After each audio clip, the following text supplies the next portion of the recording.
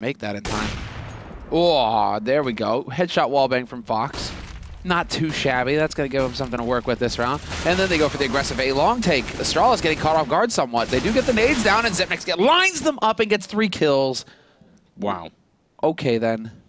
And one more bullet on Jacob would have made it a quad. That was a monstrous spray coming out now. Long Fox crouching into that corner and